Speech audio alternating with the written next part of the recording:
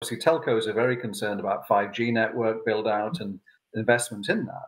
And there were big concerns early on in the development of 5G that there would be lots and lots of congestion uh, mm. with the first uh, first 5G deployments in city centres, and that people would somehow get a bad service that would put them off 5G because that had previously happened with 4G and 3G, where you you know you release the service and then users basically overwhelm it.